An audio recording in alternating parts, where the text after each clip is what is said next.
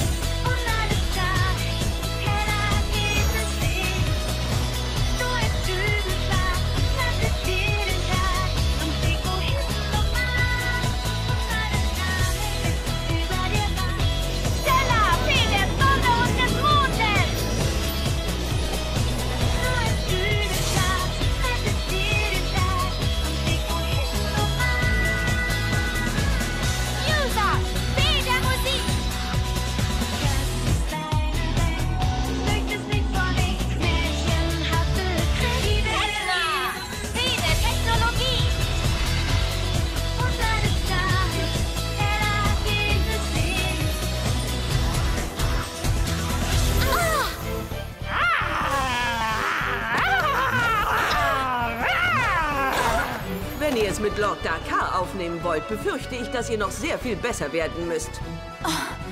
Blumen, du gibst das Zeichen. Okay, Mädels, macht euch bereit. Auf die Position.